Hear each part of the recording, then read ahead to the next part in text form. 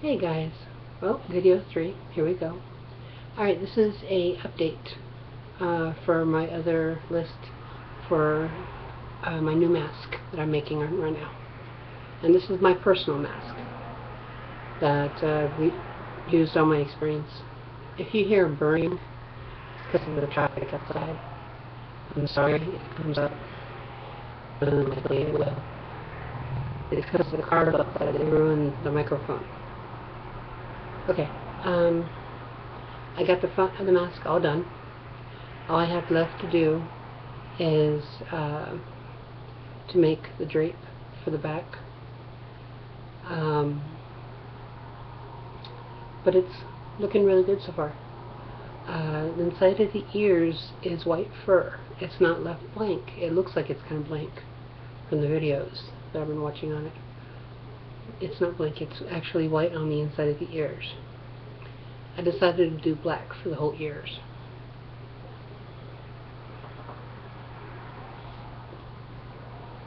Here we go.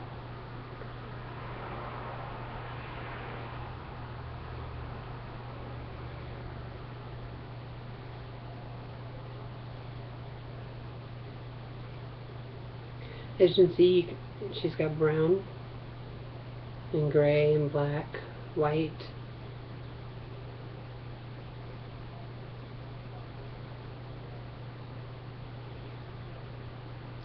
Resin eyes really make them look alive, don't they?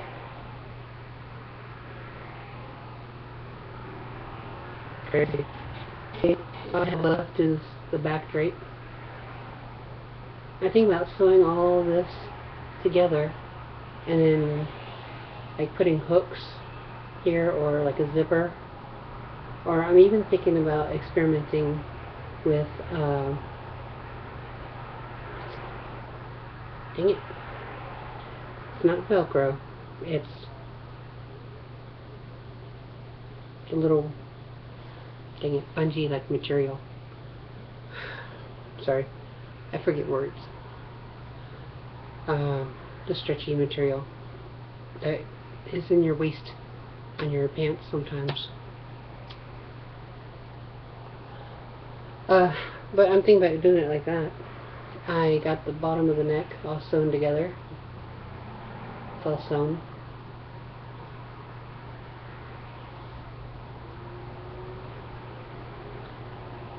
And it's fairly comfortable.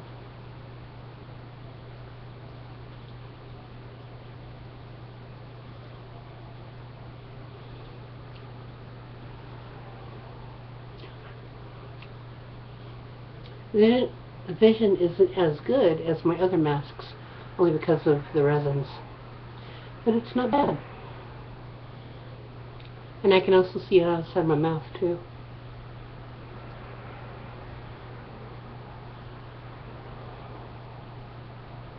I'm thinking about making a, a rigging out of uh, the stems of uh, shavers to put inside the jaw so if I want it to, to keep open, like a lot of other furries do, I can put this in and prop it up and keep the jaw open. Yeah, it looks a little bit better.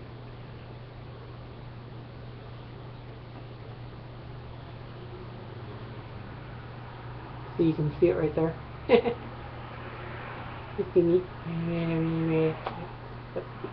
Okay, well. Something about doing that next. There's a get together on the 15th at Cortez Park here in Phoenix uh, from people who are throwing next year's FurryCon, Furry Convention at the Phoenix Convention Center. And I'm trying to get all this done so that I can go to it. It's from uh, 10 to 6. She's so cute. I've done a lot of work on this.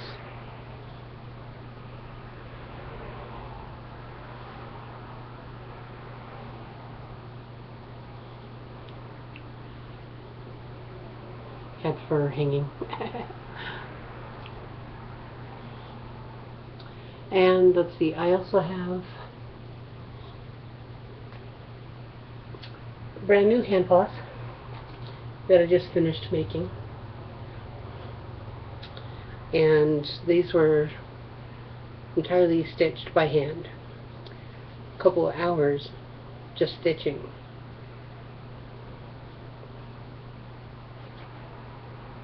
Because what I did is, I don't have a sewing machine, but I stitched it in such a small stitch that the stitching is almost as good as any sewing machine you'll ever come across.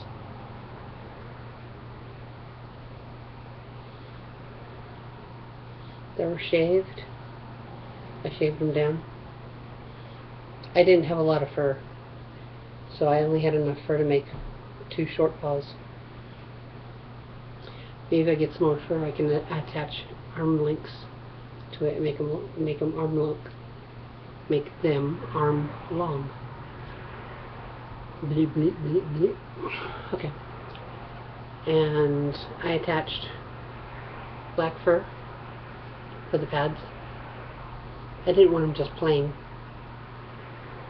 And I, I seem to have misplaced some of them. So they look a little crooked. That's okay though. I'm not really worried about it. At least they look good.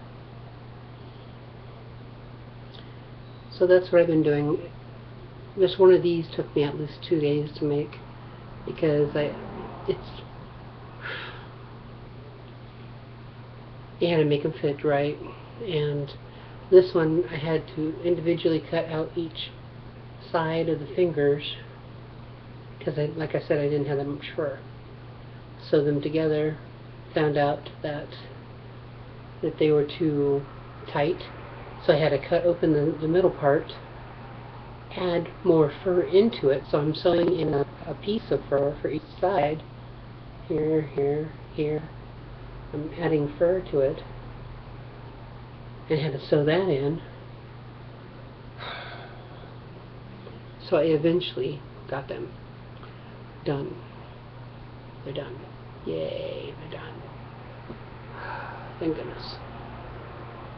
I don't think I'm going to add any claws. I don't know. Still thinking about it. If I do then you'll see it in the next video. Okay? Uh, let's see, let's see, let's see, let's see. Oh, okay. Uh, if you have any questions, comments, if you want to rate my video, please do so. Um, I don't hear a lot from a lot of people. I, I kind of feel like I'm talking to nobody out there most of the time. So, a question, I'd be I will try to more than be happy to answer any questions you guys have. You know, sharing knowledge. And for people who can't really afford to buy a well-made fursuit from like Monoyasha or Beast Cub or, you know, just a lot of, you know, like uh, Clockwork Creations. Oh my god. Clockwork Creations is like epic fursuit stuff. But if you don't have the money to buy the really wonderful things, then you have to make your own. Or, like in my other two videos I uploaded today, I am currently selling my gray cat and my brown wolf.